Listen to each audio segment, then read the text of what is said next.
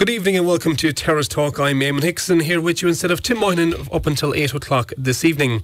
We've lots coming up on the show this evening. We have uh, some uh, interviews from the Georgie O'Callaghan event in Castleisland over the weekend. I ventured out to Castleisland where that pitch was named in honour of the late Georgie O'Callaghan.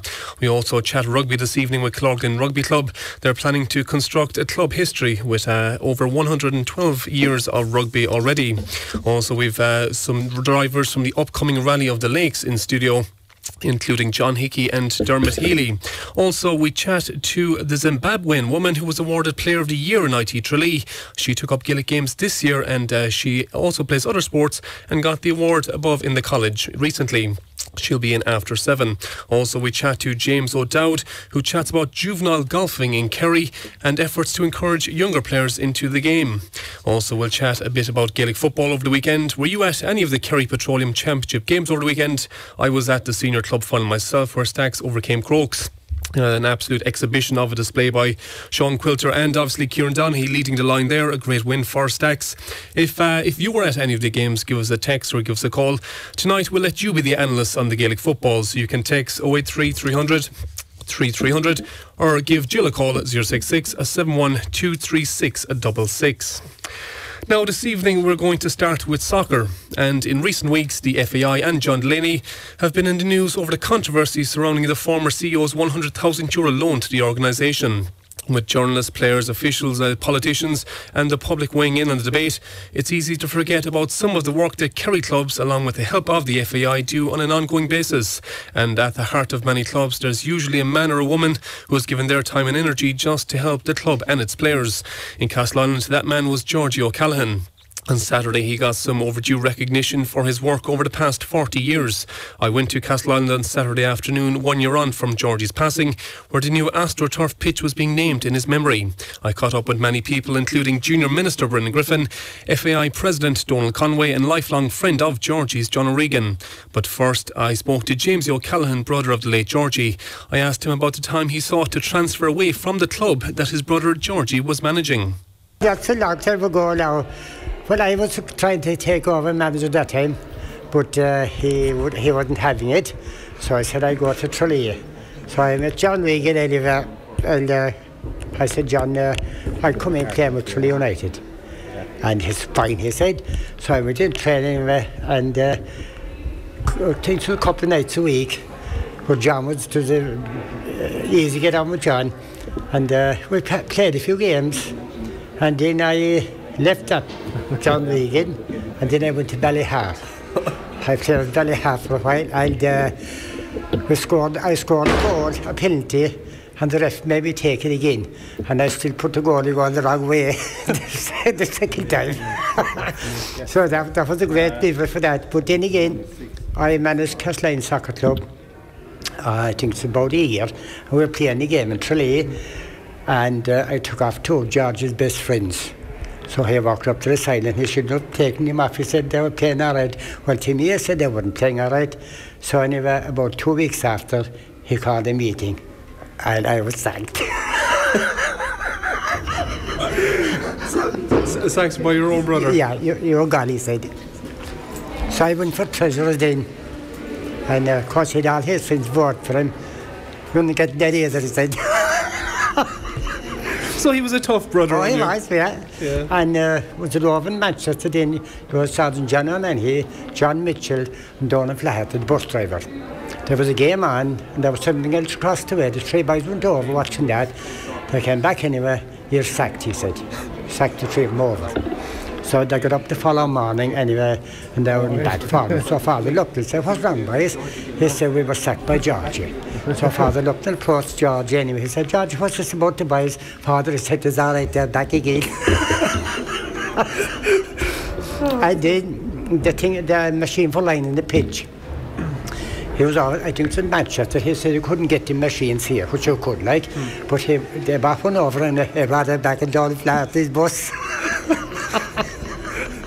Oh, for God's sake. Oh, uh, the, the, uh, Jesus had a, a brilliant time with him. Like, mm. He's done a amount of work. Mm. He kept at the whole time, and all the young fellas, he had great control over them. Mm. Like cursing and swearing, have that again now, he won't be playing. they've fucking done everything he wants them to do.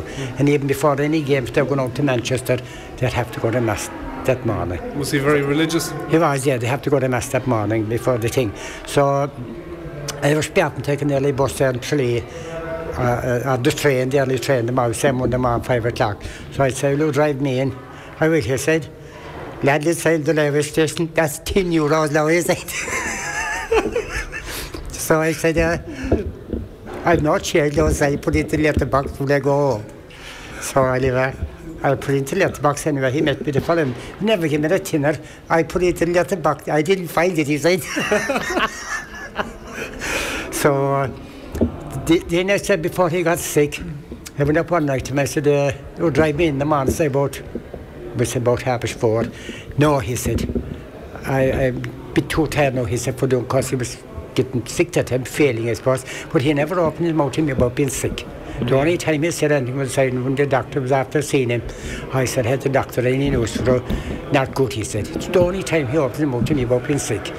And um, he was in the hospital then, the Father Lupton, he stayed around for all that week. He came in the morning, he came in at night. And they stay inside in the hospital, they put a tag on the wrist to date him, the date of birth. Mm. So George hit down his date of birth 1946. Oh, yeah. That was 1941 he was born. So when he was in the coma this stage, so father looked in the big door over him and said, George, he said, you're telling lies about your age. oh, jeez, the stories. But uh, the best thing now was about him when he sacked me. I tried to get back nowhere. Just he had the power or the vote. and what was he like inside at home? Was he was he the boss at home as well? Well, he was living alone, but he just living alongside yeah. me. But he was living alone. He never he never settled down or anything. But uh, he knew I was smoke, so I, I was say one day before he came in. Uh, he smelled the fags. Oh, smoking here. One outside the door. There's no smoke inside here. Oh, jeez. oh, it was deadly. But uh, I don't give up them deadly facts, he said.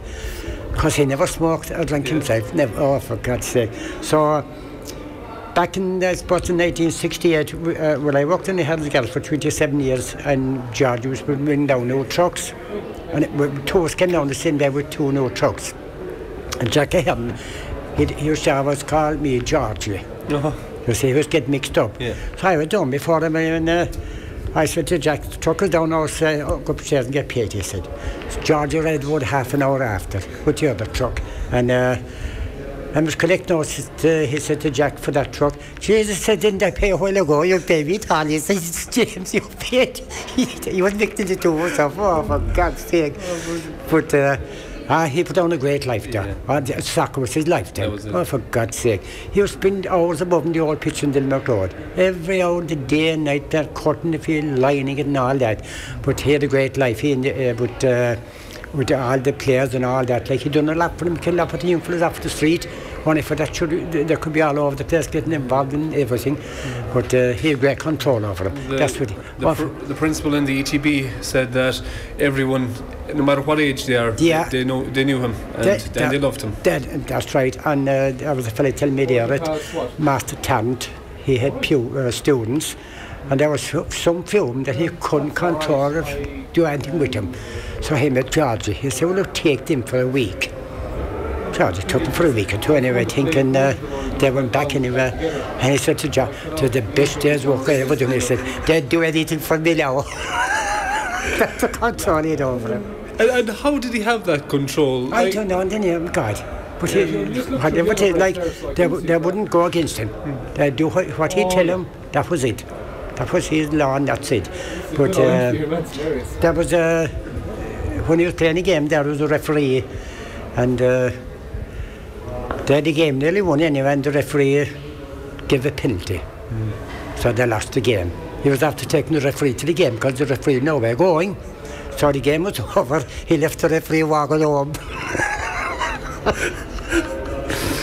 there was another ref then he might make bad decisions. Like, and George just showed from the sideline, you're a JRF. And man was hated. I'm not a JRF, he said. oh, they were a deadly crack. He was a rogue. A rogue, is right. But uh, he was uh, out the sideline then, and one of the said to him, George, I'll give you the red card. So George calmed down, he laughed a bit. But he had great crack with him though. And that was, that was his life, like. Mm. So he had nothing, when he was married, anything like that, he spent his whole life at the soccer. Mm. Oh, for God's sake, will stop. And he was telling me to give up them long journeys. But that was only we, say, a couple of months before he died.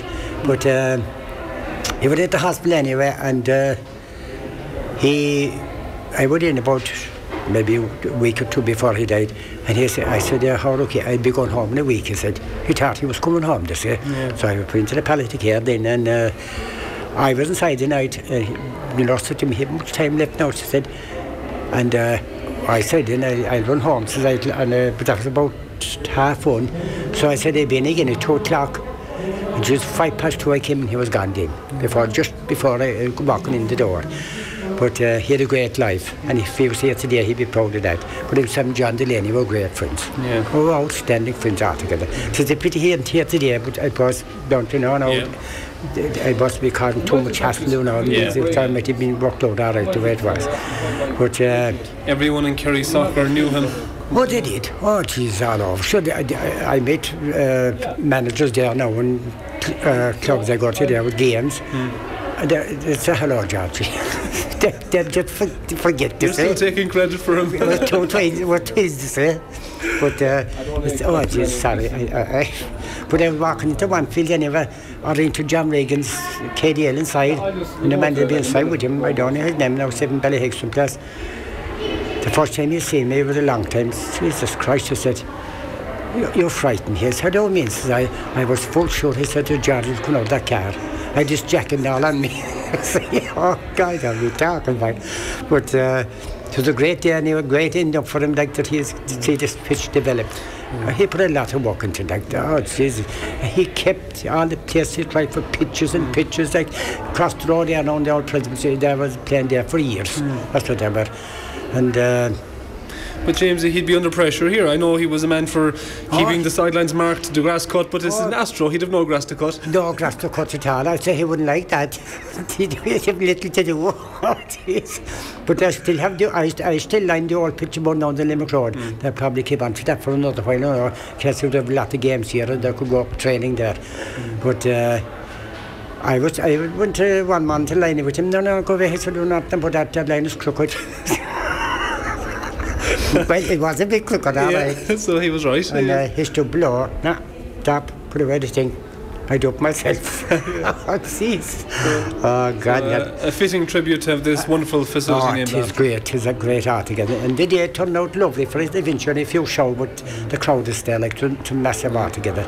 But they loved him. The people loved him around. He was collecting lots of young players and bring him here and take him home again, even after training. But uh, there'd be nothing here without him, really. Oh Jesus, no, no, no. Like it was a lifetime to, to achieve all that, and all the young fellas tucked England in, like to maybe twenty or thirty them together. That was a big responsibility, Take them over mm. there, like to keep them in line, look after, because they, they wouldn't step out of line. Yeah. They, they knew what happened if they, if they did. But it was a long time, like forty-five years. That's what it was. Yeah. Massive time. That's, that's and uh, you miss them, Jamesy? I would, yeah. You, you miss them, of course. You would, uh, but. Uh, the only time we had one fun was when I got sacked. I talked about a week after. I did he'd say, what are you doing tomorrow? I said, mm, I won't be doing too much. Uh, I've shopped a bit of transport, I have a few players to take the match. I said, will I get paid for that? You will know that. it's in the letterbox. the letter, but that was good. Oh, Jesus, lad. But uh, to always 10 euros now. But I will, I will give it from time to time. But uh, the letterbox, no, no, he said I was not in the letterbox. oh, God, yeah, I was thinking that. Oh, but uh, oh, I would miss him all right, but that's what I would have. Mm. We were together for, so we were next door to each other for years and years and years. But uh, when I was, I was playing here then, uh, manager player, and uh, he said, uh, I had him in the south. Uh, am I getting any game? I don't think who's fit enough. I said, to train the last night, so you want to pull your weight. I said, so anyway, but I got it off him anyway. Yeah, oh, different. Oh, jeez. I couldn't believe it yeah. because we were doing well. And uh, would he have been laughing about it at the time, or would he have taken it seriously? Oh, he, he, he, he take it serious. You, you, you got here, said, that's it. But that was over putting off his two friends, to say. Probably that was a vote, and they voted with him. He was a he was a loyal guy. Oh, loyal guy, yeah, definitely, yeah. They said, oh, we're gone, oh, we're gone, that's it. They were not, they were not coming back. Oh, God. Uh, James, yeah. thank you so much. That okay, th- th- thank you too. And that was James O'Callaghan, brother of the late Georgie, uh, who I met out in Castleisland on Saturday. We'll have more after this short break, but uh, staying with soccer for a moment, and there's good news for Kerry soccer fans and even uh, Annascaul soccer fans. Young Sean Kennedy, who plays with Sunderland, he would have been a cousin of, uh, is a cousin of Tommy Doyle's. He's been selected for the Republic of Ireland under 17 team for the UEFA European Under 17 Championships, which kicks off uh, later on this week, actually, above in Dublin. So, some good news for Kerry soccer fans. We'll have more from Castleisland after the short break. From the sidelines to the stand, Terrace Talk on Radio Kerry. Hello, welcome back to Terrace Talk. I'm Eamon Hickson. If you want to get in touch tonight, give us a call 066 712 3666 or text or WhatsApp 083 300 3300. Now, we're continuing with the tribute to the late Georgie O'Callaghan. Now, I was in Castleisland on Saturday and spoke to many people during the naming of the pitch after the late Georgie, including Kerry's Junior Sports Minister, the President of the FAI, and uh, Teresa Lonergan, Principal of the local ETB. I also spoke to John O'Regan, Secretary of the Kerry District League, who was a lifelong friend of Georgie's. I first asked John, what was Georgie like?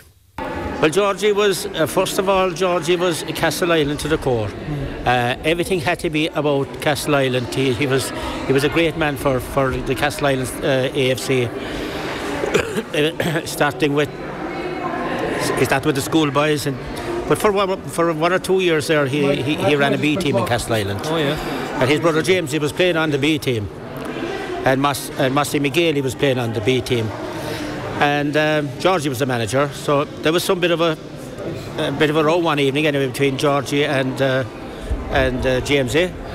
And uh, the following morning, James and Master Miguel arrived into my house in Spa Road. Uh, wanted to know had I two transfers. so I said, "What are the transfers for?" So I said, uh, he said, well, we, we can't put up with him anymore. We, we want to we want to change with. So they arrived in anyway, and they played two weeks with Tralee United B, and uh, the next thing, James uh, arrived in one morning, the following Monday morning, arrived in. He said, to, John, he says, can I have two more transfers? I said, what's, what's happening now? So he said, he won't talk to me at home because I, that I'm playing with you, so I have to transfer back to Castleisland. and that was the, the, the Edmund Hartnett said there earlier on today, he said, uh, uh, it, was, it was great to see two Tralee United men standing together. James, James said, "Yeah, we were, we were we were comrades in arms at one stage, all right. Uh, how was Georgie? How was he as a player? How was he as a manager?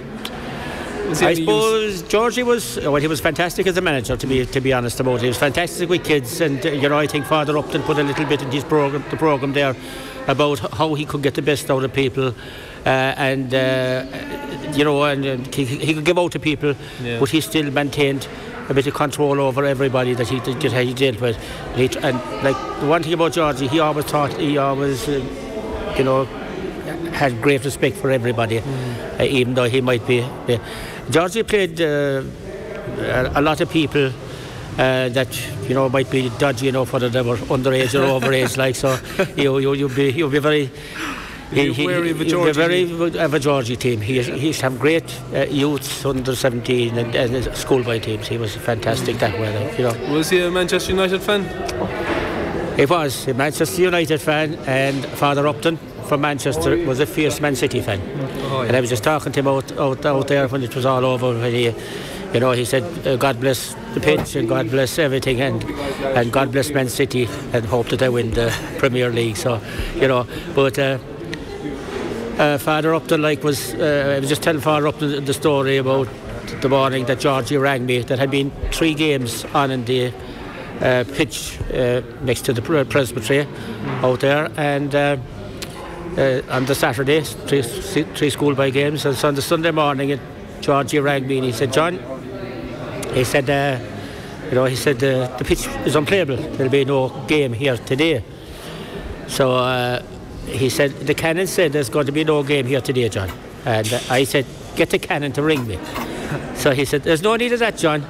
He says, the canon is here. I'm going to talk to him. So the canon got on to me.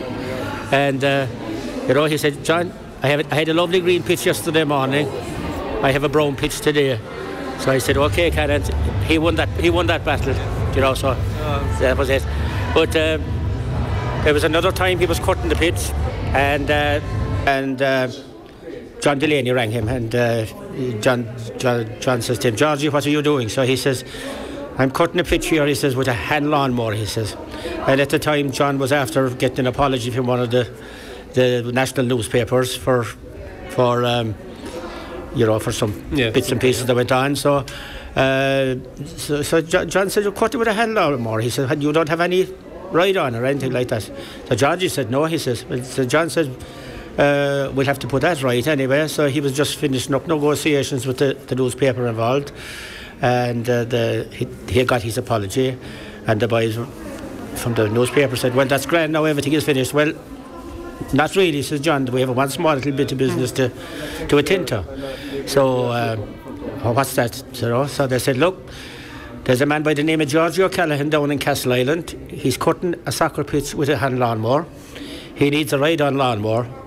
Will you buy a ride-on lawnmower for Georgia? And it was agreed then then that they'd buy the ride- ride-on lawnmower for Georgia. Georgia got his lawnmower the following week, and he had it to the day he passed away. Uh, you know, but he got that lawnmower, and he was he was the, he was the king. He'd leave nobody else use it. The boys with the in the senior pitch wouldn't even be left to use it. He used it for his own pitch. That was it, and he wouldn't use it for any other pitch. Like, but that's that's the story of Georgie with the. He, he was a driving force behind the club in every respect. Oh my God, he was. He was like I mean. I, I was often at home of a Sunday, uh, Monday morning, like, and you know, mightn't be feeling too well. And the next thing, uh, the doorbell would ring.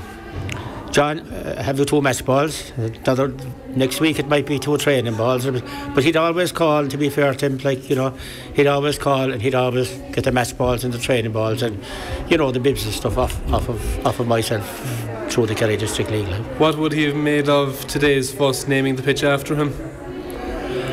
Well, I suppose you know, being the kind of a fella he was, I don't think that he, you know, that, that he, if he was alive, he he, he wouldn't want it, you know. And uh, but uh, I, I, I- think you know it was a great, it was a great uh, thing by the the club uh, and the and the school, of course, that they were. Of course, he spent a lot of time here in, in the school. Like he spent a lot of time in here, uh, taking young fellas on the bus, you know, driving the bus and taking young fellas to uh, matches, uh, school matches, and uh, you know, so.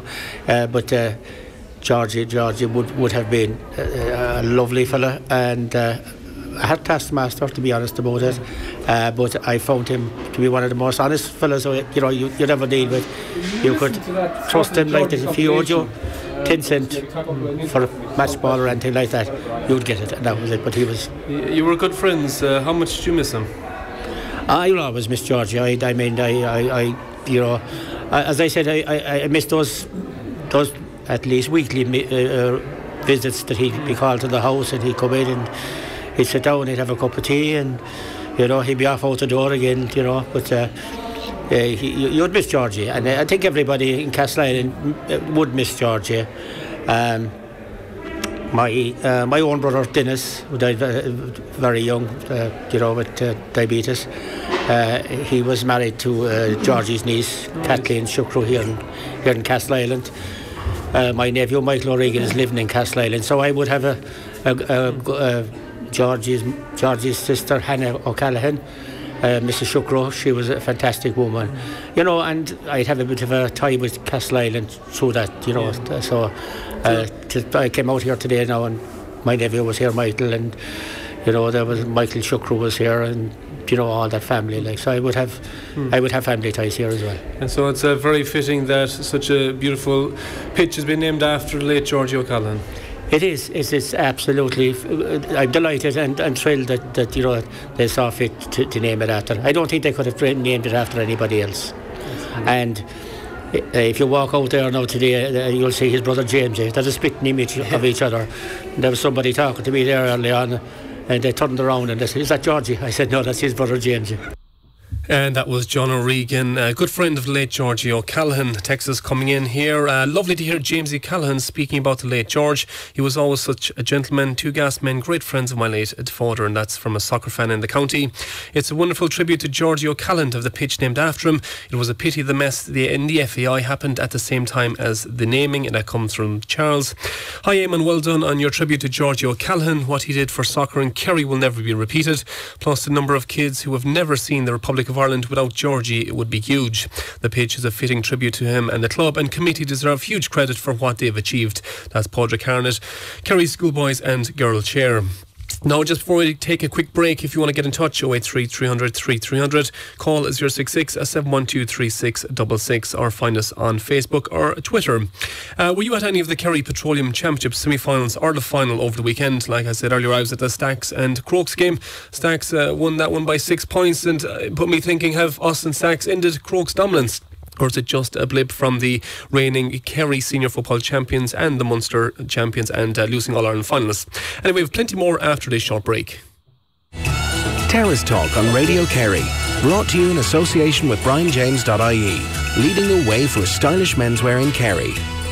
Welcome back to Terrace Talk. Eamon Hickson here with you up until 8 o'clock this evening. Coming up on the show shortly, we talk rugby with Killorglin Rugby Club. We're also on about the rally, which is coming up over the weekend, the Rally of the Lakes. There's Gaelic football and golf before 8 o'clock. And now, just going back to Castleisland, I was out there on Saturday for the naming of the pitch after late Georgie O'Callaghan. I caught up with a number of people, including the FAI President, Donal Conway. But first, uh, Minister Brendan Griffin. I asked the Minister of State at the Department of Tourism, Transport and Sport before he talked out asking him about the importance of Georgie O'Callaghan Park. So here with Minister State at the Department of Tourism, Transport and Sport, Brendan Griffin. Brendan, uh, during the official uh, ribbon cutting there, we, all of us were looking around and I hear that you're tugging out and you're getting to play in this new pitch, the Georgie O'Callaghan Park. I am I'm very much looking forward to participating in the game today. Uh, I've played in Castleisland previously in the Limerick Road pitch when I was playing with Mainbank, uh, but uh, nothing next to near like the facility that we have here today. So really looking forward to being part of it and I don't think I'll be uh, influencing the game that much, but uh, it is uh, a privilege to be, be able to play on the pitch today on this special occasion, but also as well with so many of the former Republic of Ireland legends as well who've joined us here today for the occasion. And Brendan, you were standing on that two years ago. You were junior minister for a matter of days, and I think uh, Bobby O'Connell brought you out to look at the place. A lot has changed since then. Yeah, Bobby brought me down within five days, I think, of becoming the minister to see the facility and to see uh, what was needed here. And thankfully, we were able to contribute 59,000 euro through the Sports Capital programme in collaboration, of course, with funding from the FAI,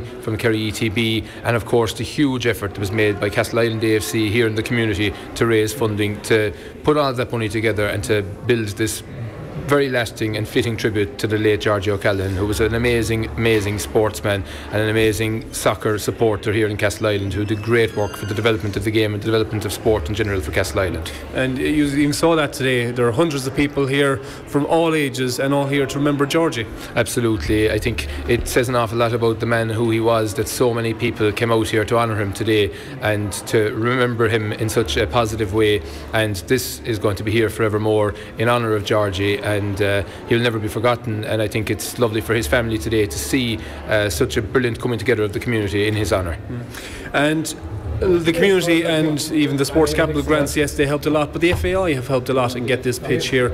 And over the past few months, there has been some controversy, but the president of the FAI, Donal Conway, is here today, and he received a, good reception. He did, and rightly so. The FAI have contributed to this project as well. Uh, Georgie O'Callaghan spearheaded with the chairman, Pa O'Rourke, uh, the efforts with the FAI to secure financial assistance uh, as part of the collaboration between a number of different agencies, including our own department, to put the funding together. And uh, so it's only right that they would be here today and they would be acknowledged for their contribution as well. And I think they held Georgie in very, very high esteem, and uh, certainly Georgie's input would have been enormous in terms of securing that funding from the, the FAI. And it's um, important that everyone who played a role is acknowledged here today. And I think also as well this can be seen as a beacon for other communities and to show how when you work together when you bring different people together agencies together make an effort a collective effort you can produce outstanding results and what we have here today is an outstanding result in a top class state of the art modern facility which will be here for many many decades to come a man that a lot of people were probably coming today here to see him Uh, he wasn't here. He didn't get the mother of all welcomes, and that's John Delaney. As I said, uh, Donal Conway came to represent the FAI. In recent months, how do you think Kerry public representatives have fared in relation to the, the controversy at the FAI? Well, I think first of all, again today should always have been about Georgie O'Callaghan, and I think it was a terrible pity and a shame that some of the commentary has tainted uh, this development and this facility and this day this day should always have been about Georgie and should never have been about anybody else. And I think the commentary of some representatives uh, which jeopardised that uh, was um, I think it was it was very unfortunate. Um, but again I think the people today have proven and have shown that um, they acknowledge one of their own as, as being an outstanding uh, contributor to sport and they're honouring him here today and that's what it should be about. And you know in terms of what, what I think about the conduct of other public representatives ultimately it's the people of Kerry who will decide on that and I leave that to the people of Kerry to decide in the future what they think is fitting um, conduct or what isn't fitting conduct. And the people of Kerry and maybe nationally, there were some supporting what our public representative said and some were against it. But even before we were here today renaming the pitch in honour of Georgie O'Callaghan, there was a lot of controversy. So, Kerry's public representatives, sh- should they have been united on, on one front? Um, my role as the minister in the department is to ensure that we have due process in terms of any controversies or any investigations and to work with our partners in Sport Ireland and our national governing bodies of sport for the betterment of sport in the country. And when I talk about due process, I think it's critical for me uh, to reserve any particular comment about any particular individuals or organisations until we see the full facts. As we know in relation to the FAI, there are a number of investigations going on at present. Uh, when we have full facts, we'll be able to comment further and I'll be able to make full judgment in relation to uh, what is, is or isn't the case. But again, as I said, in terms of other public representatives, they're free to say what they want to say in committee and when they have Dáil privilege. Um, but I think it's a pity that this project and this collaboration uh, was somewhat tainted by some of the commentary, um, somehow indicating that there was something underhanded or that there was, um, you know, some sort of. Uh, um, nod and wink culture when actually what it was was a very very strong collaboration between a number of partners um, that resulted in a fine facility for the people of Castleisland. it shouldn't be tainted uh, it was a legitimate uh, collaboration between partners and uh, anyone who suggested otherwise uh, through their commentary uh, or tried to in, in any way um, become associated with a project I think was being grossly irresponsible and very disrespectful to the club here a lot has been said that if funding is withheld to the FAI, whether it be through Sport Ireland or through the Department of Transport, Tourism and Sport, that it's the grassroots that will be affected. And here we are today, Brendan, we're seeing hundreds of, of people here, uh, over 200 kids kicking on this field. Will it be very hard if these reviews come out and maybe don't shine on the FAI in a very positive light? Will it be hard for you as junior minister with the responsibility for the sports capital grants to, diff- to, to keep that apart, keep the emotion out of it? Well, what I've made very clear uh, throughout this process and from the very beginning is that any withdrawal of funding uh, in relation to the sports capital programme uh, will not affect local clubs. So any local clubs like Castleisland AFC who've secured funding in our last round and who are currently in for further funding for the changing rooms for this facility, they won't be affected in any way regardless of what happens. Uh, what we are saying is that you know the larger uh, infrastructural projects that are applied for directly by the FAI uh, that even though allocations may be made, drawdown of funding uh, may be suspended or delayed until such a time as there's full and proper governance uh, clearly in place in the organisation and that all of the questions that are currently being asked are answered. But when that happens, uh, obviously we will then be in a position to release any allocated funding. But my primary objective is to ensure that the people at grassroots soccer level, the boys and girls, uh, the men and women around the country who participate in soccer uh, on a weekly basis, on a, in some cases on a daily basis, uh, that they continue to be able to play the game that, that, that they love, to, they continue to be able to um, to exercise and have recreation through soccer, and that's something I'm very passionate about as someone who's played soccer for years, uh, who loves playing soccer. Uh, I want to ensure that everyone who wants to play soccer will be able to play soccer and won't be adversely affected by this. And uh, finally, Brendan, just getting back to the soccer, you mentioned was it yesterday, 30 years ago, that Ireland started a run of five games that led to Italia 90? That's right. Um, I think it was a Míchel own goal in Dublin that led to that 1 0 win over Spain.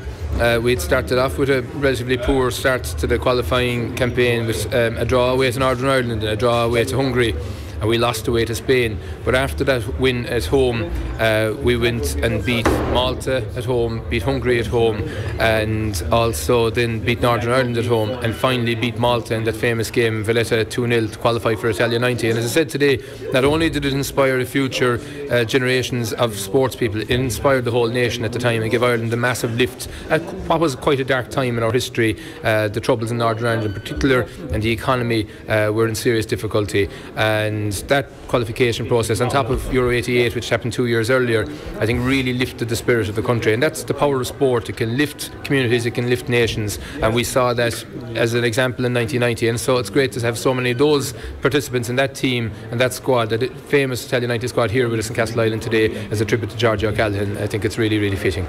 And Brendan, you're going to go try inspire some of the kids there later on. You're tagging off to take part. Uh, I don't think it'll be inspirational stuff. I think uh, I think it could be horrific stuff. I think when they're trying to clear the crowd at the end of the game, they're going to bring me on for impact. So, Brendan, thanks so much. Thanks, Evan. Here with the president of the FAI, Donal Conway.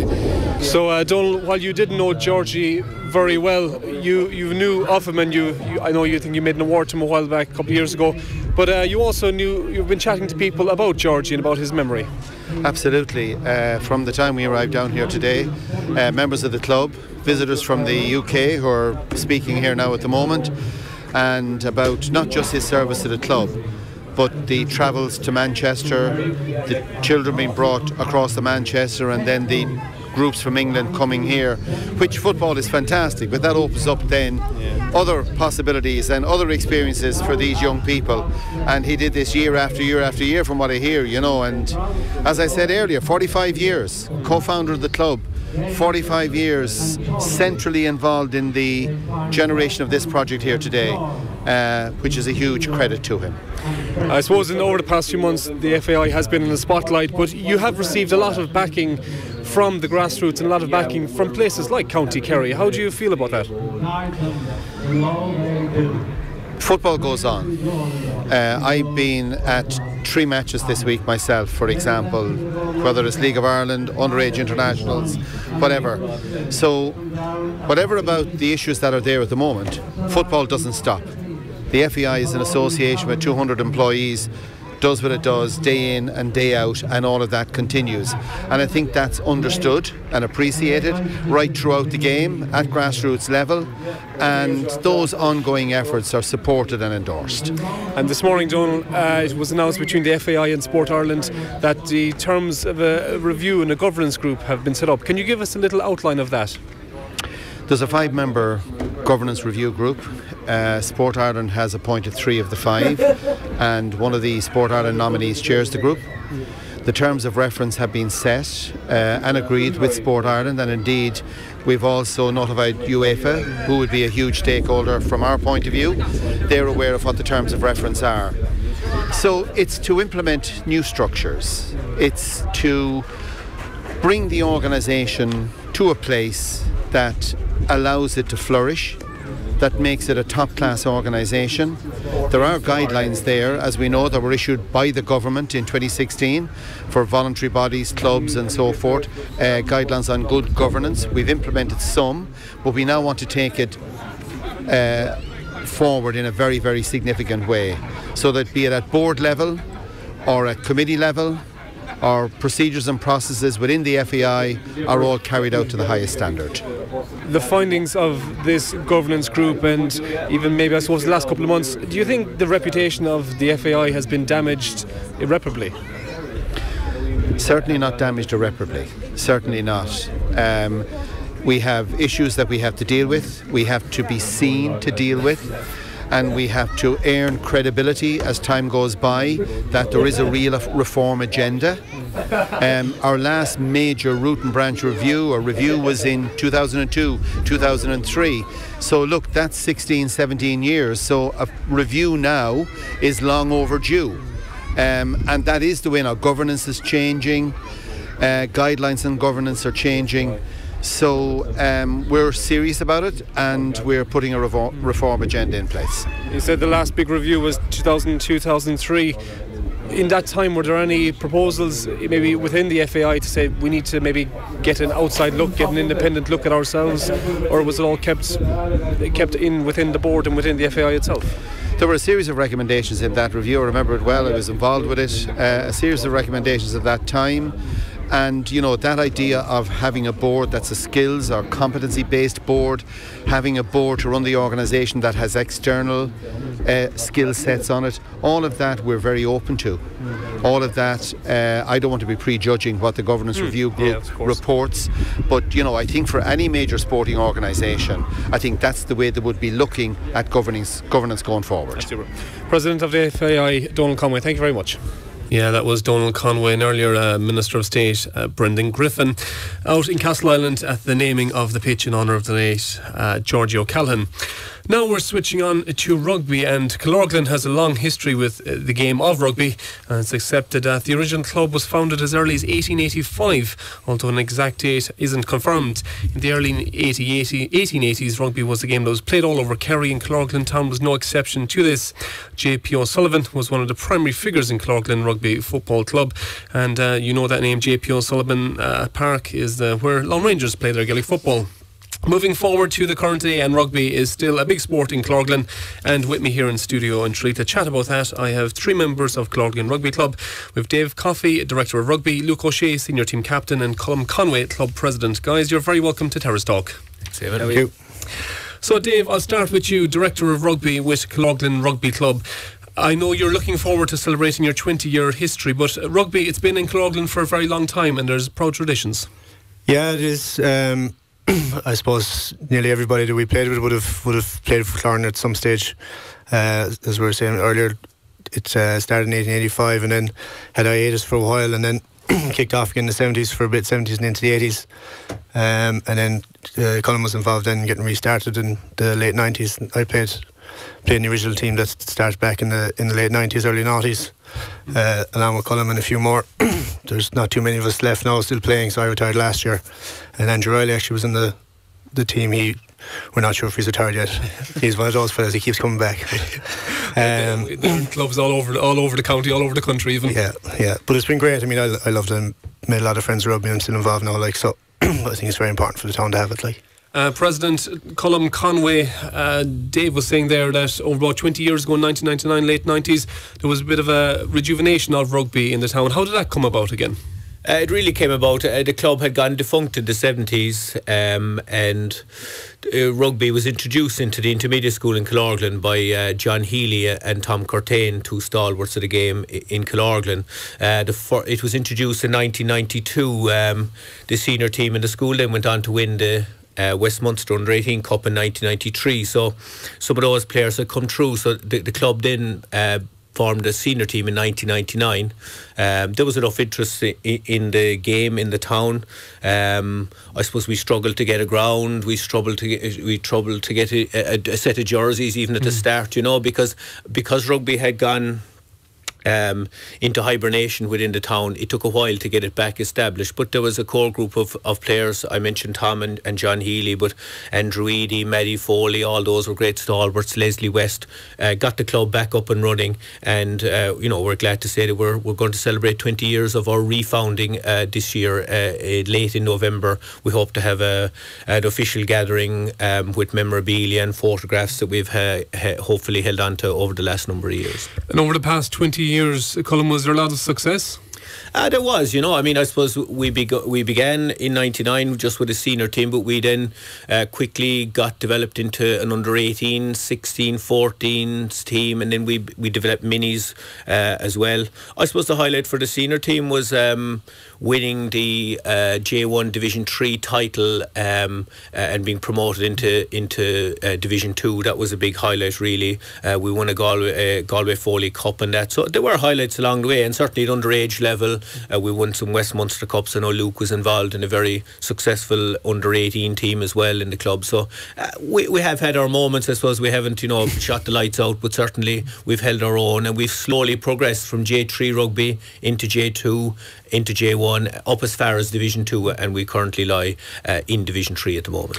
And uh, of all the towns in Kerry, there's a very strong Gaelic football clan. There's a number of soccer teams in the area and around, so there's there is competition for players as well. Absolutely, you know, and I suppose like any rural club, we struggle a little bit, you know, with the senior team and, and the youth team. I suppose we're looking away that maybe at a GA level and that uh, there's a lot of clubs uh, in the local area, but for rugby, I suppose we're pulling from the whole mid Kerry area, really, you know, and, and currently we have amalgamations at under 18 with Killarney and at under 14s with Iveragh as well this year. So, um, look, we're always looking for more volunteers and more players, but we're not doing too bad at the moment and Luke O'Shea, senior team captains in studio as well with me. Luke, very welcome.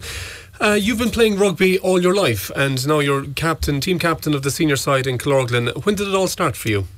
Um, I suppose it started at under 12 or under 14s um, with Ronan Curtain. Um, I was playing football at the time and kind of rugby when I went into the intermediate school. Kind of there was an opportunity there to play and uh, grasped it with both hands. And then Ronan took me under the wing for under 14s, and uh, from there just the love grew. Um, I'm not the biggest man in the world, so there was a position there for me on the rugby field at nine or ten, and kind of settled into that role then, and I've been there since. Is out half a position where it takes time to bed into. You know, whether I know there are some more specialist positions, but would say the back three is something that most lads could nearly fit into. But is out half a position that you need a couple of seasons in to really develop? Um, definitely, I suppose you just have to mature into it. Really, it's kind of you're the quarterback in, in a sense. So it's up to you to make all the decisions on the field, and you kind of you probably need to know the game of rugby as well a lot more than your prop forwards who are just uh, interested in smashing fellas. Uh, so yeah, it, it's just it's one of those positions. I suppose you kind of just have to keep your head, um, and but it's very enjoyable, and the rewards are brilliant from it. Like so, are there days where the forwards won't pass the ball back? So, so all, all, the thinking in the world body out half doesn't come to anything. Uh, we're unfortunate in Killorglin we have a crowd called the Lynches and none of them know how to pass the rugby ball so uh, yeah that's themselves exactly yeah, there are so. a few of those guys around other clubs in exactly, Kerry yeah, they're, they're, in every club I think uh, Dave as director of rugby you know we hear this term I suppose in the professional game a lot the director of rugby with different clubs and all that what does director of rugby entail with Killorglin? Probably sounds posher than it is, I suppose. It sounds very degree, yeah. um, I mean, basically, it, it starts off before the season starts to, to get everybody in line for, for coaches and pick who's doing what teams and to find what teams are short and try and get coaches to do it. And in fairness to everybody that's involved, they're they're great. Like the time they give. I mean, we all know in, in all clubs, coaches are are vital. You don't have teams without coaches. Um, so they give their time. I mean, even now they're still going, still going the 14s, which is a lot later than we'd hoped for, but fair play to Mentally Kelladere's in charge. They're still plugging away very hard. Like so, so we gather them, gather them then to start the season, and then after that, it's a, it's a case of helping out coaches wherever they need to be helped out and get sorted with logistics and stuff. As director of rugby, uh, is it? your aim to, I suppose, instill a style of play or a style of culture in the club, or is that left down to individual coaches? Well, ideally, you'd, you'd like to put it in. I mean, for instance, it's, it's a big issue with um, you. A lot of time you lose kids, and the main reason you lose kids to playing is, is that they're not they're just not getting minutes in the pitch. Yeah. Um, so ideally, you'd, you'd like to put it across to, to, all the coaches that winning the game isn't what's important. If if every kid is playing rugby, that's all, that's really what matters, you know. And again, playing good rugby. I mean, there's a there's actually a great initiative by the by um, at the under 14 level that they tried out this year, and that you play play an under 14 game is three thirds. Mm. So the first two are competitive, and the last third isn't. Yeah. So then you can bring on your players, and at least everybody plays a third of rugby every every week. Then when they have a game, you know. So it's it's great, and they're ideally, if you were talking about trying to bring it to that every player plays a half a game. Mm. Ideally, or that's probably not practical in a sense, but once they have the plan together, then if you can get coaches to buy into playing people as much as they can and getting them on the pitch. I know it gets tough towards the end of this, particularly towards the end of the season when there's finals in, in, at stake, but if you can get them playing, mm. it's the best. It's the way you improve their skills for further on as well, you know. And uh, Colm, in terms of success, I know you're under 14 teams. They're going very well this year. And uh, can you tell us about how they got on so far? Yeah, they've been going pretty well. As I said, we have an amalgamation from um, or with the Iveragh, and there's a great bunch of lads coming up there. And in fairness to the parents, they're driving them up for training and matches on a regular basis. Uh, they had a great win against Tralee in the West Munster semi final on Saturday. They won by uh, 17 points to 15. So they're in action in the final tomorrow evening in Castleisland at 7 o'clock.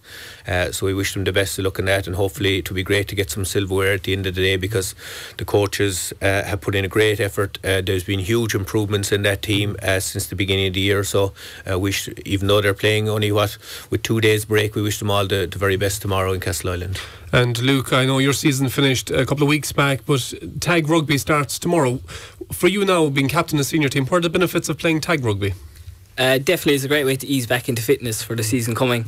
Our pre-season normally starts um, the end of July, start of August. So, mm. I mean, if you're starting now, you have two months of running every Wednesday and while it's intense, it's not competitive, it's fun. So definitely it's an inclusive sport. Um, and we'd be encouraging men and women to, to partake in it. I think last year we had numbers in around 30 every week, and that's great to see. And it's great to make new friends, and people get to see the Killorglin Rugby Club for what it is, and it's great.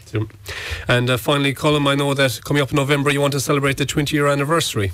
Yeah, we're uh, celebrating the anniversary of the refounding of the club. So um, we have a lot of photographs and uh, old memorabilia gathered uh, from the recent history. But I suppose I'd like to appeal as well to anybody out there uh, who might have any old photographs um, relating to Killorglin Rugby Club that if we could um, uh, borrow them for that night, uh, they could contact um, anyone in the club through our social media outlets.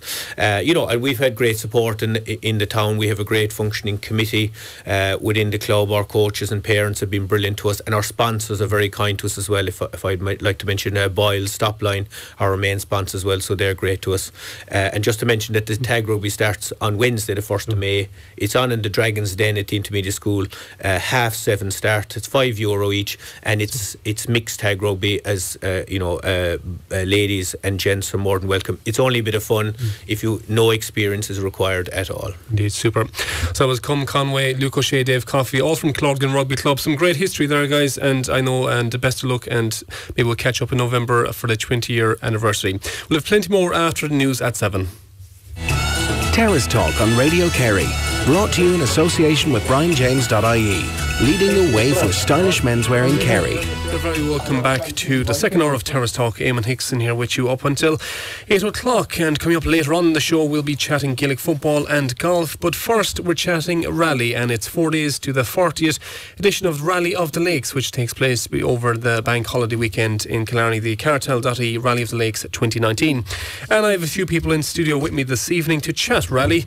I have John Hickey, a local rally driver, Cormac Casey, event deputy clerk of the course, Pat Healy, another club stalwart, and Mike Marshall, founding member of Killarney and District Motor Club. Lads, you're very welcome to Terrace Talk. Thank you. Thank you. Mike, might start with you, a founding member of the Killarney District Motor Club. We're looking forward to the 40th anniversary of the Rally of the Lakes. Where did it all start for yourself? Well, I suppose it all started with just one motor club in Kerry, the Kerry Motor Club, mm. and it had members from north of the county and south of the county.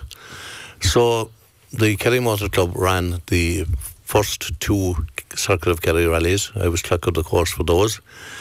And then we felt that there was more better rallying territory in the southern half of the country, of the county. So uh, the members from that part of the county split off from Kerry Motor Club and founded Killarney Motor Club. And obviously, as a new motor club, uh, we wanted to have an event of our own, so we planned the first Rally of the Lake for uh, December ni- 1979. Uh, was it difficult at the time to get that going? You know, a new rally starting off.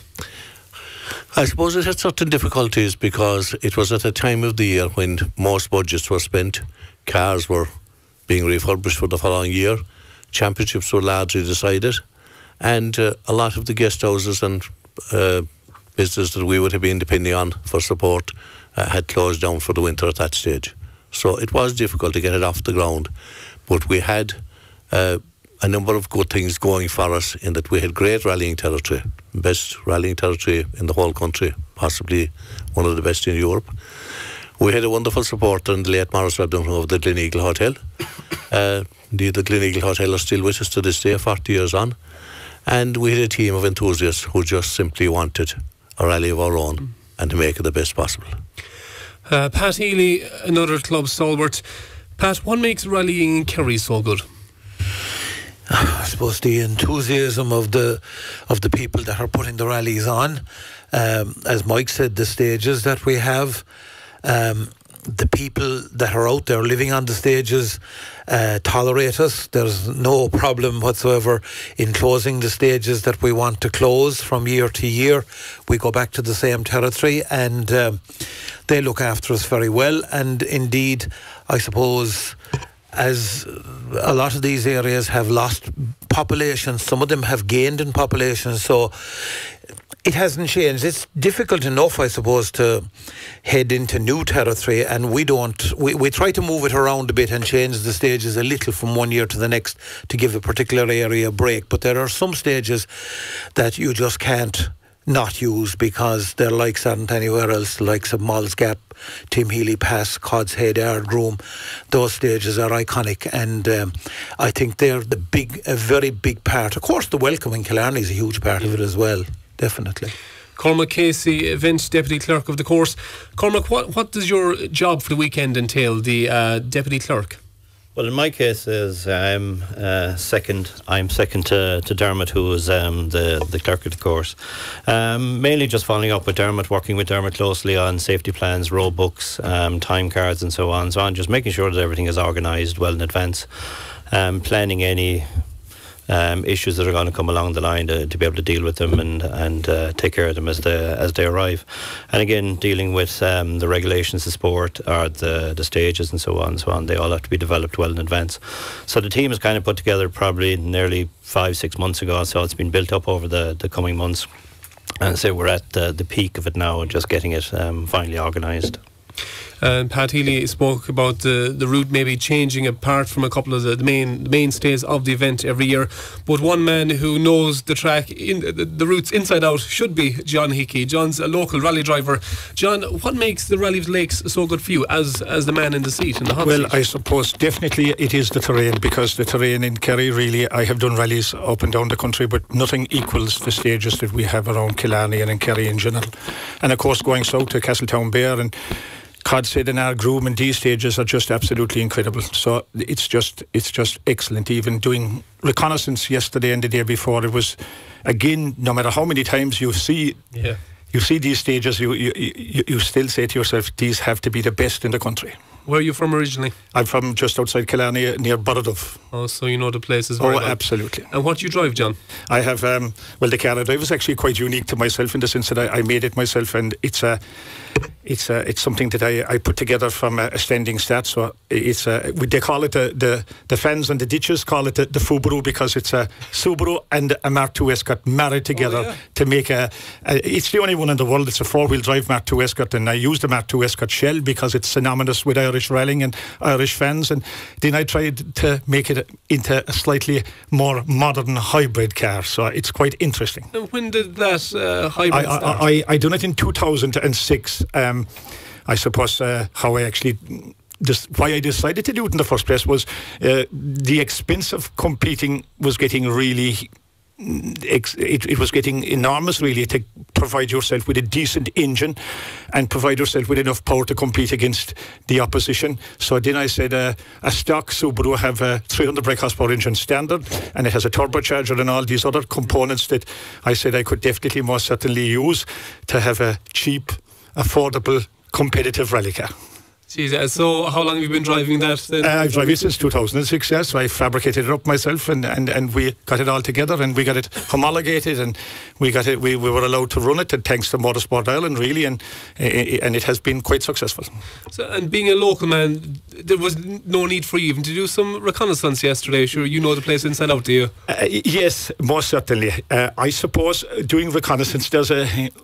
It's you still have to do reconnaissance. Uh, um, the gradient of roads changes and uh, surface changes, and something that could be a very fast turn last year uh, due to deterioration over the winter or whatever could not be the same turn this year. So most certainly reconnaissance is important to be done every year. And so you went along yesterday with your co-driver. Who, who's your co-driver? My co-driver this year is my daughter Michelle. It's going to be her first rally. She's just 16 years old with a couple of weeks, so she'll be uh, probably one of the the youngest competitors ever to do an international rally, and. Uh, it, it, it, it, was a very interesting day. I had to stop several times on the first reconnaissance because she wanted to take photographs, if you don't mind, of the of the beautiful scenery. I was just going to ask, how does a reconnaissance with, with your own daughter ahead of the Rally of the Lakes go? So well, it, it was very interesting, to be honest. she impressed me more than, more than I thought she would. just as long as next weekend she doesn't want to stop for photos. That's. Well, hopefully not. hopefully not. Uh, Mike, uh, founding member of the Killarney and District Motor Club, this rally over the past couple of decades it has grown from strength to strength. We mentioned about the terrain, maybe, and even the local support, but what else makes this rally so fantastic? Well, one of the things that had a major influence on it was we moved from December to May. Mm. And uh, we got some inkling ahead of time of the new bank holiday in May. And we applied to Motorsport Ireland for that date, and everybody else thought we were mad. We couldn't see the reasoning behind it. Mm. But then when the bank holiday was announced, everybody saw the reasoning. Yeah. And a bank holiday is important because the people who can afford to go rallying generally have jobs to go to on Monday. But if they have Monday to drive home, possibly all the way up to Donegal or to Belfast, well, it makes a big difference. Uh, again, it's easier to run a rally in May. Uh, the championship is not yet decided. We're right in the middle of it. And more daylight hours, we don't have to get involved with running stages in darkness and so on. Mm. So the move to May made a big difference. And I suppose every year we try to do something different. We try to push out the boundaries a little bit further. Sometimes we get away with it. More times we say, we're told you can't do that.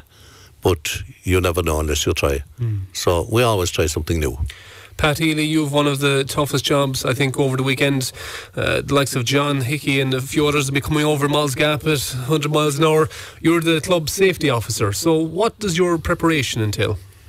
Well, I suppose this year, as John just neglected to mention there, Dermot didn't make life easier for the competitors because he has actually reversed half the rally Mm. and ran it in the opposite direction, to which it has run. uh, I'd say it only ran once or twice ever in that direction, but. It meant that everybody had to do a recce, whether they knew the stages in the other direction or not. They had to go out and do a recce. Um, on the weekend of the rally, I suppose the safety aspects. The, number one, you're thinking of the safety of the competitor.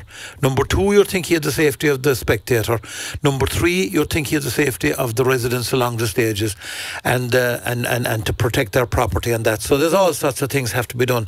Chicanes put into stages to slow people down.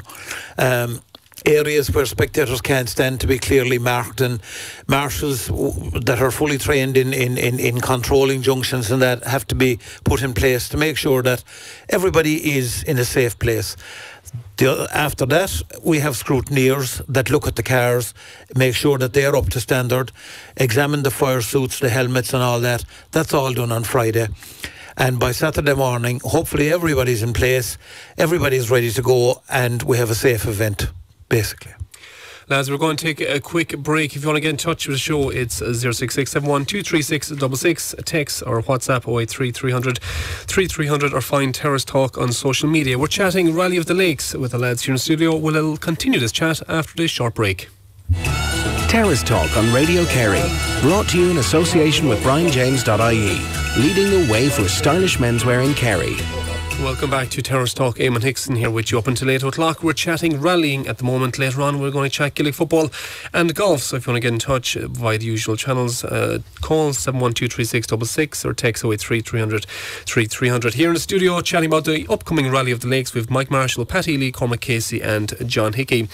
Cormac, uh, the event deputy clerk of the course, I suppose publicity and uh, I suppose getting the word out is a big part of the job as well. And you secured the, uh, I suppose, in a A-lister, a local man for this year's event. Yeah, that was that was uh, that was quite enjoyable. Um, getting that uh, project up and running, and again, what it will do for for rallying and just uh, the the PR side of it is, is huge. And again, as I say, when we approached him, he jumped on board straight away. There was no um, there was no coaxing or anything like that. He says once uh, once we made the offer to to come and join us for the weekend, he just jumped on board. So he initially started off as being um, event ambassador, and he, the more he thought about it, the the idea of driving, and competing, or participating on the event was was appealing. And again, he has a he's no stranger to motorsport. So yeah, again- what's his history in motorsport? It kind of came as a shock to many that Michael Fassbender was going to be competing. Um, he did, yeah, but he has been. He competed in 2017 and early 2018 with um, Ferrari in the US um, Ferrari Challenge, and he's working with Porsche now at the moment on the Porsche um, Cup Series uh, in Germany. So we'll see him out and about um, later on in the year. Um, so yes, he's competing on a regular basis in the US as well uh, on a few series with uh, Tommy Burns um, who's also attending the weekend, um, which will be quite interesting. Um, so yeah, he's he's um, he's definitely generating uh, public interest. Um, we have a ceremonial start where he'll be there on Friday night at six thirty, and then there'll be a Q and A in um, Scotts afterwards. Um, so again, that'll be from a PR point of view, and again bringing rallying into the, the into a, or creating a wider audience there is, is huge and is key for the sport. Like, there's so many other sports competing for our attention at the moment, so we have to fight our corner. So I think this is doing it. And in recent years, I suppose the support of the local community is massive in getting everybody on board. Huge, and the support um, from the community is is fantastic. And without without the community, as Pat says there, without the help of the, the, the residents to be able to close the roads, and even in the the town with the council to be able to uh, use the car parks whenever we need them, and so on. So the support is huge. Uh, John Hickey message in here from Chris in Gneeveguilla. What are cars has John built that he will be competing at at the weekend? Have you built a number of cars? Was uh, uh, back along the years I have done a few yeah just as different projects and so on but just from an engineering perspective we try to explore different avenues to see can we get things to work with uh, without spending a lot of money if we can at all you know and uh, yeah some of them has worked some of them have not but uh, yeah, there will be a few of them competing. That uh, there is one there that we put together recently for uh, Shane Doyle. It's it's a, a little BMW using a 1600 engine because he's only allowed to use a 1600 engine until he has four events done to get his license upgraded from a, to get him the experience at driving a lower powered car. So that's working very well. He's a couple of rallies done already with it, and he's really having good fun. Oh, fantastic. Mike, uh, there are a lot of Kerry drivers involved in this. Can you tell us some of the, the younger Kerry drivers, the up and coming ones, who we should be looking out for over the weekend? Do you know, to be quite honest, I can't tell you much about the younger drivers. Yeah. because I've taken a step back from that side of it in recent years. I've concentrated mainly on the communications radio side. And whereas my wife, Noreen, who looks after membership and things like that, she would know all of them. But there's an awful lot of the younger drivers. And when they come to the door to get their license renewed, I have to ask her, who's he? because it's very embarrassing to have somebody talking to you and knowing your name and you don't know who they are. But, you know, they're all welcome because they're the future of the sport. In your 40 years, as was at Rally of the Lakes, you've seen a lot of fantastic drivers coming through the rally. Yep. Who would be uh, f- some of the, the bigger ones, even in the, in the early days? Well, I was always a great admirer of Billy Coleman because I knew him personally. But uh, I suppose of all the great drivers that came, I would have the most respect for Bertie Fisher Yeah. because he was a very genuine person. Uh, any comment he ever made about a stage or suggesting that some change should be made to a stage was never made to create an advantage for himself, but to genuinely improve the safety of the event. Yeah. He was a very genuine gentleman in that respect. Pat, you were nodding there at the mention of Bertie Fisher. What, what made him so great? Um, as Mike said, just the man. The, he was a well. Number one, he was a pure gentleman, and um, when he came down to the rally, everyone was the same to him. He he didn't he, he like he, he was head and shoulders above most of the other people while he was competing, but he, he it never went to his head. He was just the same as anybody else. I remember going to Donegal one year, and uh, at the end of the Donegal, I was doing safety officer up there and being in the crowd outside the hotel. And my I had a little my young fellow Roddy was only about four years old, and he came over to where we were standing and took him in and sat him on the front of his car. And that that's the type of thing he would do. You know, he was a pure gentleman. And his favourite stage, he told me once, was he called it Loch Cara. We call it Caragh Lake out in Killorglin. He absolutely adored that stage. We're not using it this year, by the way, but um, no, um, a pure gentleman. In fairness, he would be the man that would stand out for me as well. Definitely.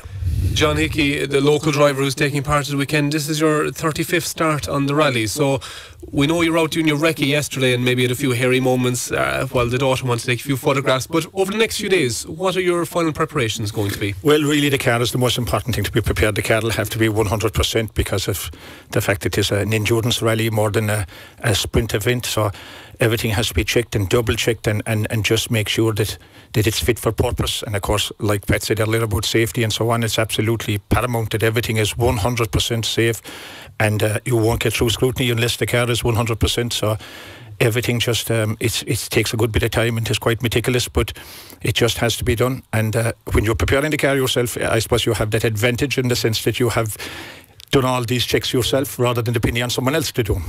Something that uh, maybe it's put as a criticism against Rally in sometimes the cost, the expense.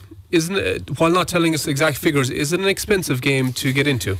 That's relative, really. It's relative to the category you're in, the class you're in, and what exactly where you want to compete. Of course, if you want to go for overall honours, you're going to be competing with people that has uh, huge budgets. And of course, getting back to the late Bertie Fisher, one of the big advantages with Bertie Fisher was that he had the budget along with the talent. Yeah. So th- th- he had everything you needed to, to, to be successful.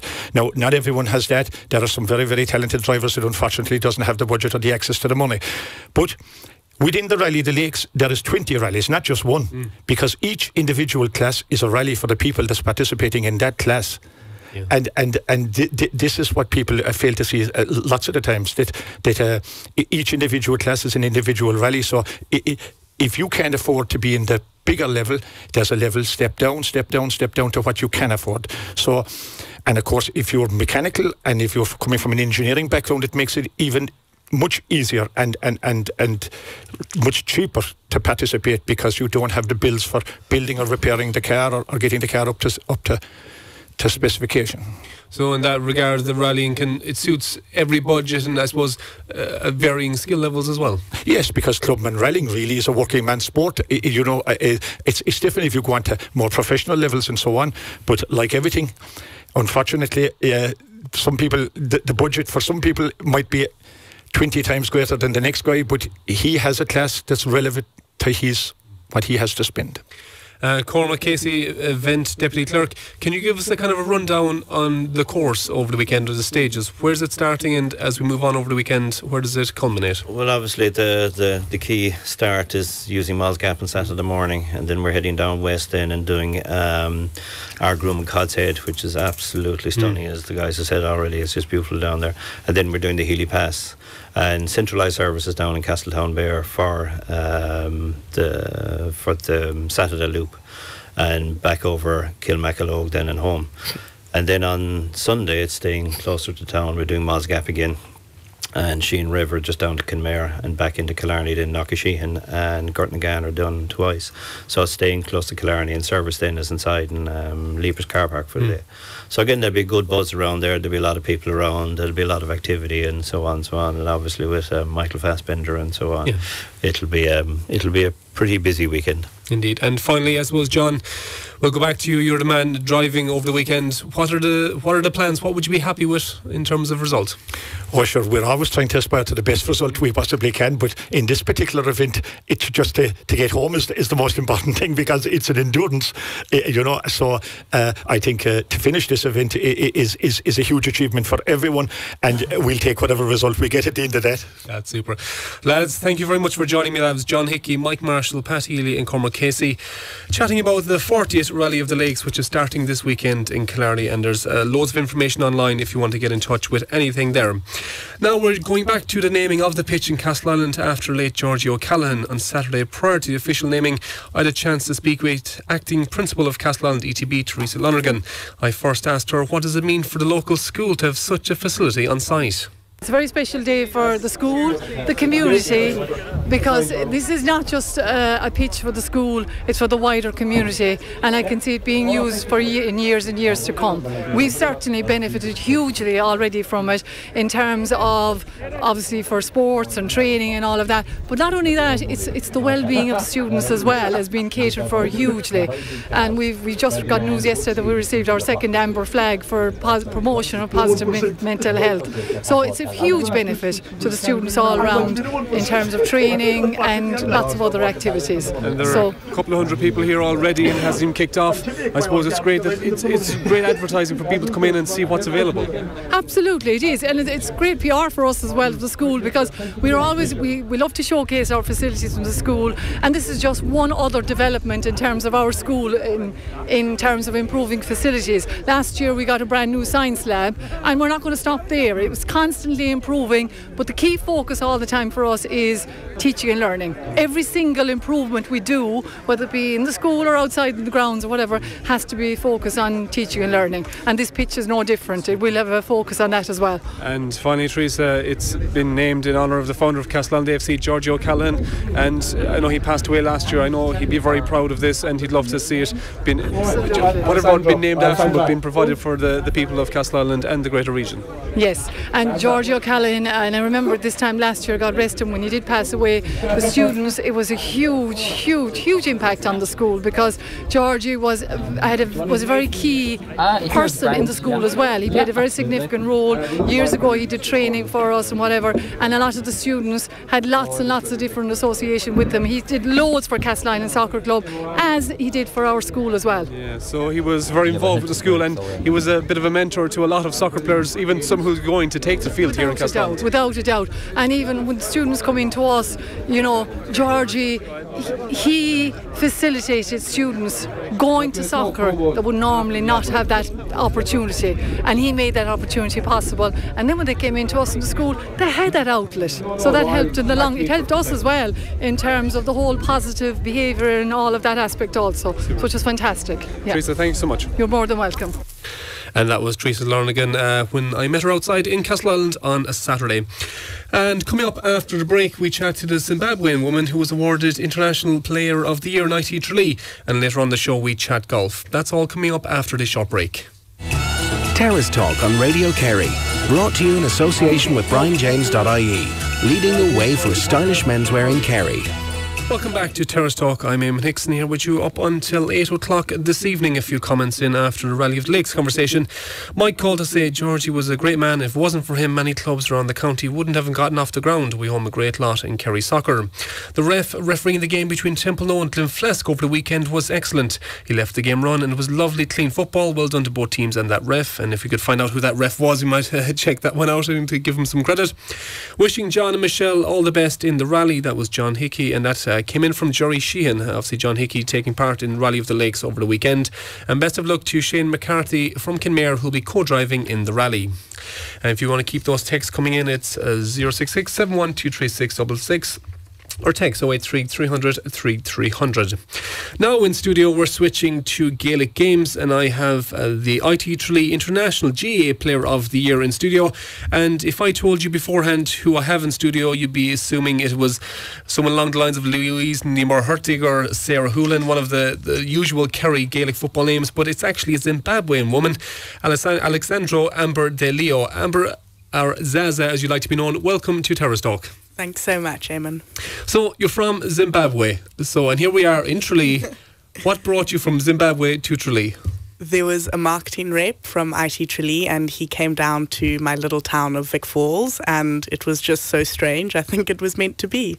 So a marketing rep from Tralee was in Zimbabwe. Yes. And what were your first impressions when when you were told about IT Tralee and the town of Tralee and even the county of Kerry? Uh, I heard that it rained lots in islands, and I heard that the Guinness was good here, and that's all I knew, really. And so when you decided to come to study, what you looked at whatever courses were available and what are you studying at the moment? I'm studying veterinary bioscience, and it's one of the few places that offer it, and it's a really great course. So that was the main reason. And uh, moving from Zimbabwe to Ireland, what kind of steps were involved? What obstacles were put in your way in terms? Did you have to get a, a visa to study, or what's the what was the process? Uh, yes, as a Zimbabwean, you do need a visa to study, so that is quite difficult and nerve wracking to get. And what year are you in? First year. So in the first year, and when you before you came to Tralee, did you do any much research online? And I know you mentioned about it rains a lot. Uh, maybe the Guinness might be quite good, but what were your first impressions when you got here? I didn't really have any impressions of it because the marketing rep only came down towards the end of the year. So I only got accepted into the college about a month or two before it actually started. So I had about six weeks to pack up everything in Zimbabwe and come over. And were you studying in Zimbabwe prior to that? No, I was working there. Hmm. And in terms of sport, so you come to Ireland and you hear about this game, Gaelic football. Yeah. What what was that like? What were your first impressions when you saw the game of Gaelic football? it was weird. Hmm. I had never seen anything like it. I'd never heard of it before. And I just thought, well, I'm an island now, might as well give it a shot. And what were the first few training sessions like? A disaster. The ball was flying everywhere. Those poor coaches. yeah, there was not much coordination from any of us, but yeah. And uh, so, what sports had you played prior to that in Zimbabwe? I'd played a lot of hockey, swimming, uh, polocrosse, and horse riding. Um, yeah, a fair few sports there. Yeah. So uh, those sports they don't really lend themselves to Gaelic football. So you thought, okay, maybe the first few training sessions were a little bit iffy, but over time, did the skills come to you? Yeah, I mean that was putting it mildly. The first few training sessions were very funny, but yeah, it came and we did lots of practice and it was really great. The college was very patient, sending us all the coaches and yeah, over time, I mean, we didn't train for that long before we started going to competitions and that, but And it was good. I suppose if you're starting something new and maybe there's a little bit of frustration if things aren't working out, what made you stay at stay playing Gaelic football? What made you persist with it? Because there are numerous other sports in IT Tralee that you could have uh, switched to. I really enjoyed the game and I loved the fact that it was so Irish and I thought I'm here, I might as well make the most of it. And once you get the basic skills and you get excited because you can actually catch the ball and solo and um, yeah, that just motivates you to keep going. And your first competitive game. So prior to that, tell me what, what were you thinking before your first competitive game, playing a game of Gaelic football that a couple of months previous you'd never even heard of, never knew even existed. I was very worried because we'd all been messing around on the pitch before and all our training sessions were, you know, very casual and I wasn't sure what to expect from an actual tournament and uh, how hard you could run at people and when you could grab the ball and uh, yeah, it was it was interesting, but it was really fun. and how did you perform in the first game? It was really good. I got player of the tournament. Oh wow! Yeah. So natural. and what what position in the field were you playing? I was forward. Hmm. Yeah, we were mixed teams, so there were double points if the girls scored. So Oh, all yeah. of us were up front. Oh, fantastic! Yeah. So, so after you you played the first tournament, you got player of the tournament, which was fantastic. Did you continue training after that, or did the season end then? I I carried on training a bit, but then the season ended and we had all the Christmas holidays. Oh yeah, oh fantastic! So to be nominated and then being awarded International GA Player of the Year in IT Tralee, what was that like? What did that feel like? It was really surprising because when you're doing it, you don't, you know, you're just going to your training session and taking it day by day, and you're not looking forward. You're not doing it for an award. So it was just a nice bonus on top of everything. And who were the coaches that you had inside in IT Tralee? Uh, Eamon Fitzgerald, he was great. Um, he was the main guy, and then there were two other guys from the college. Hmm. And do you think it's a sport you're going to continue throughout the rest of your studies? I know you're just in finishing first year now in IT Tralee. Is Gaelic football a sport you think you're going to play for the rest of your time in IT Tralee? Yes, I think so. I spoke to Eamon the other day, and he was really nice, suggesting clubs to me. And um, yeah, I would love to take it further. Or are you going to join a local club? Hopefully, yes. Yeah. so, uh, so the season is coming to an end. I know the college term is coming to an end. You have exams in the next few days in veterinary. Mhm. When the exams finish, are you staying in Ireland for the summer? I'll go home. You go home. Yeah. And so when you come back in September, you'll come back fitter and stronger than ever, ready for another Gaelic football season. Hopefully, yeah. And when you came to Ireland, you look and there was Gaelic football. It's uh, our, one of our national sports. Are there any sports back in Zimbabwe? Some local sports that maybe we haven't heard of? Uh, probably not. Um, I played a lot of hockey back home, and that was a huge thing there. Whereas here, I've noticed field hockey Mm. isn't such a big thing. So swimming as well, probably because of the weather here. but um, yeah, apart from that, all the sports are very similar. So, and you mentioned hockey. You played a lot of it. Are Zimb- is it a very big sport in Zimbabwe? Is it the number one sport, or where does uh, soccer fit in? Uh, hockey is a big sport, but I wouldn't say one of the main ones. It's more your cricket and your rugby. Yeah. And swimming is huge. Soccer as well. We've got a good soccer team there.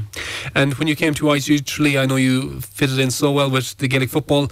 Did you play any other sports eh, while in ITU Tralee? Yes, I played loads of sports. Um, when I came here, I knew no one. I had no friends, and I thought, "How do I make friends? Let me just join every club available."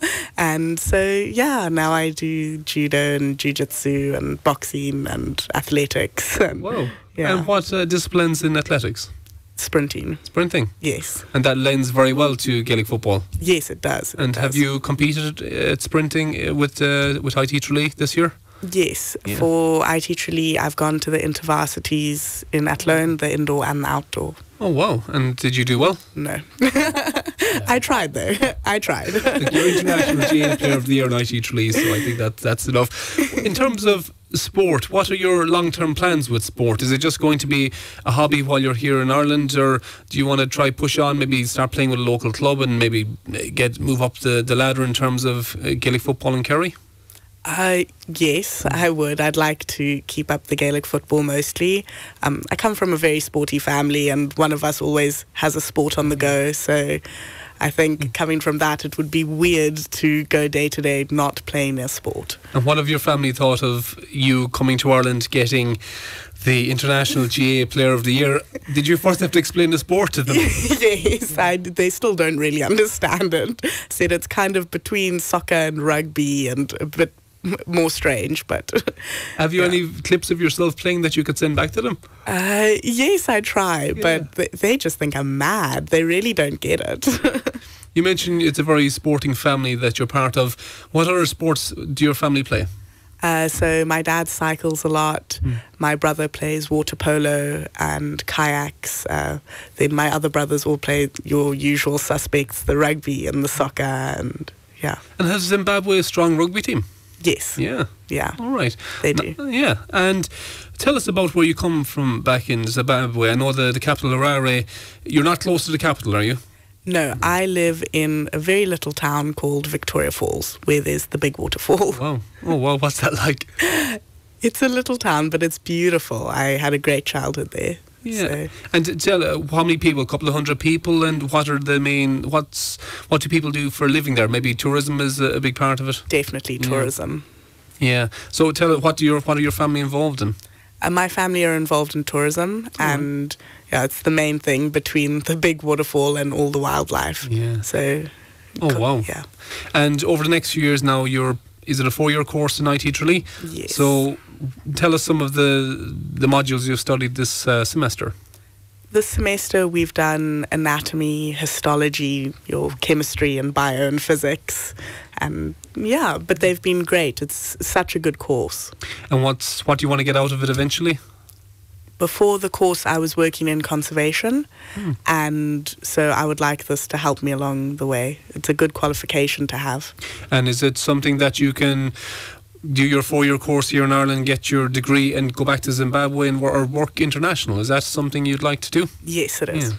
And how big of a part will sport play? Not just Gaelic football, but what any other sport? How big a part will sport play in the rest of your life? Well, I I've always been very sporty, and wherever I've been, I've definitely made the most of it. So I think I would have to keep playing mm. some sport. If. I go back to Zimbabwe, there will be no Gaelic football, but I'll pick up something else then. Well, look at it this way: you will be the best Gaelic footballer in Zimbabwe this summer. So that's fantastic. That's for sure. So when you come back in September, you'll be looking for some uh, some women's football club, maybe around Tralee, to join and maybe get get training with them over the winter. Definitely, I would really like that. That's fantastic. Uh, that's Alexandra Amber De Leo, and affectionately known as Zaza. Uh, who was awarded the International GA Player of the Year in IT Tralee. You're very welcome. Uh, sorry, you're uh, you were. It was great having you here on the show, as as uh, and maybe this time next year we might be chatting to you, and you'll be after winning some more awards, hopefully. Thanks so much, Eamon. We'll chat some more after this short break. Terrace Talk on Radio Kerry. Brought to you in association with BrianJames.ie, leading the way for stylish menswear in Kerry. And you're welcome back to the final part of Terrace Talk. I'm Eamon Hickson here with you up until 8 o'clock. If you want to get in contact, text or WhatsApp 083 300 3300 or call 71236 66. Earlier on there in the show, we were chatting a lot about Georgie O'Callaghan after a pitch being named after him in Castleisland. Got lots of texts and comments. We'll get to those before the end of the show. And we had rugby with Killorglin Rugby Club, who's uh, plan- who are planning a 20 year history later on this year in November. Now we're going to check golf, and I suppose golf was in the news over the past few weeks with Tiger Woods' uh, I suppose comeback win in the Masters and golf here in Kerry. It's been a fantastic uh, couple of years. You know, we got some of the best golfers around, and we also have some of the best golf courses, and we also have some of the best golf coaches. And I suppose I've one of those in studio. He's a John Mitchels man originally, James O'Dowd. James, you're very welcome to Terrace Talk. Thanks very much. James, golf in Kerry. How how is golf in Kerry at the moment? Would you consider are things strong? Well, I suppose the big golf courses are strong, but the smaller courses are struggling, and um, probably why I got into it to see could I get younger fellas to play golf Hmm. rather than likes of me who took up golf after playing football. So you know we're great at football and all that, but it'd be nice to have some great golfers too. Hmm. So I'm going with that. We have some of the best golf courses in the world. Uh, you see, in a almost a monthly basis, there's a survey of the top golf courses, and not just here in Kerry, all over Ireland, we get some of the best golf courses. But I suppose your thing is to try get the golfers to go with that. So you're in charge. You have the golf dock here in Tralee, and what's the aim? Is it to get young players back in playing the game? Yeah, definitely. The age of golf in not just Kerry, Ireland, is over the 60 mark. So there's no reason why we can't get them from schools to play golf like we are at other sports. So my aim is to get younger guys, boys and girls, to play golf. So we're trying that, you know, in different ways like junior camps, school competitions, anything we can do really to help promote golf. And was it neglected over the past couple of decades? You know, you mentioned golf generally is an older person's game in recent, as was in recent decades. Was there a bit of a neglect in terms of trying to get young people into the game? Yeah, definitely. There was a slip up there. I suppose in the boom, people took up cycling and other sports that you could just do when any time, really. Whereas golf was limited, and we do have the best golf courses, but they're not always the easiest to get onto. Mm. So, I think it's getting trendier now. You know, Tiger Woods is back. Everyone's wondering who Tiger Woods was a couple of years ago. You know, I'm obviously one of his big fans, but you know, we have great golf in Kerry, like the Springs families. You know, Shukroos and Killarneys. You know, the um, Higginses and Waterville. So we do have a big history of golf. It's just, I think, it needs to be revamped and pushed on. And James, as part of being the golf doc, when you get these younger children in, and you mentioned there's so many distractions eh, football, soccer, uh, rugby, even gymnastics now is very big. There are so many different sports, and even there are uh, other distractions outside of sport. What do you say, or how do you show the younger players that this is a fantastic game? Well, I suppose it's the only sport in the world that you can play with someone of any age. So, you know, you can go to any country, anywhere in the world and play golf. I don't think you can do that in any other sport. And, you know, it is trendy now. You know, kids are enjoying golf and you don't have to play 18 holes, you can play six. And, you know, there's lots of places you can go and you can play with someone from six to 60. And, you know, that's the way to go, really. You, you wouldn't spend time with your kids otherwise. Some people say that maybe the cost involved in getting into golf is uh, prohibitive. Are there ways of playing golf that uh, maybe are not as expensive? Yeah, they are. And golf has got, uh, you know, there's a lot of places that you can get golf cheaper now, and equipment has got cheaper. And you know, you can you don't have to buy everything into one week. You know, you can build it up as you're going along. And you know, um, there's lots of promotion out there, you know, for golf, and there's lots of ways of of getting into golf that's not expensive. So if you get it younger, it's cheaper, obviously. And What are the challenges golf in Ireland faces in attracting a younger player? besides the weather. Besides the weather, yeah. uh, I suppose um, getting into golf clubs is the main problem. I mean, we do have the big golf courses here, but it, they're very hard to get into. So I'm trying to get the smaller golf courses to take the junior guys and then build it from there. And obviously, there's cheaper there too than in the, the cheap, you know, the smaller golf courses. Do we have a high proportion of golf cl- golf clubs in Kerry compared to the population size, or is it like this all over the country? No, no, we're definitely over golf courses. Mm. I, I don't think the golf clubs will be saying, "Will you be quiet?" Because we need them all. but we do, you know, we are struggling with some of the smaller golf courses, and that's probably because there are too many, really, mm. for the number of people in Kerry.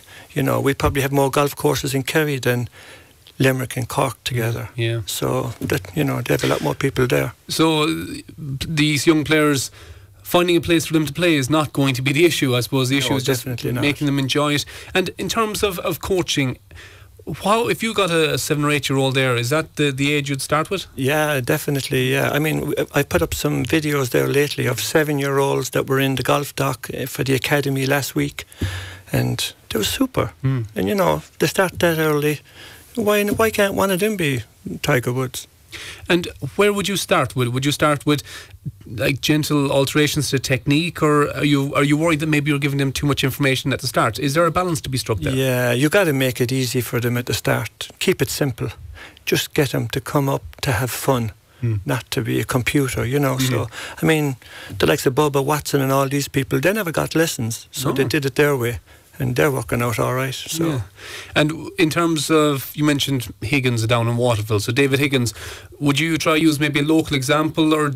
Or do you go for in terms of a role model team for? well, you know, I mean, you have David Cliffords of today, Hmm. you know, who are up and coming, and they're loving their golf, and they're doing it because they saw somebody that they, you know, liked playing golf. So I'm really going with whoever they like Mm. because we all have someone different. So we'll play with what they want, just to get them, you know, just to get them into it. And some of them will come and go, but a lot of them might stay, hopefully. And this initiative you have, the golf doc, when did that all start? Um, I suppose a good friend of mine, Otto Spring, um, well known in Kerry. well golf. known in Kerry, got me playing golf right-handed for a while and then left-handed, but um, it came through him. And you know, big motivator and very easygoing and loved golf, loved life, and um, I probably took it from there. And what attracted you to the game of golf at the start? Um, well, I suppose it was a bit late for me. I kind of took it up when Kerry didn't want me for football, which was easy in those days because there were too many good fellas.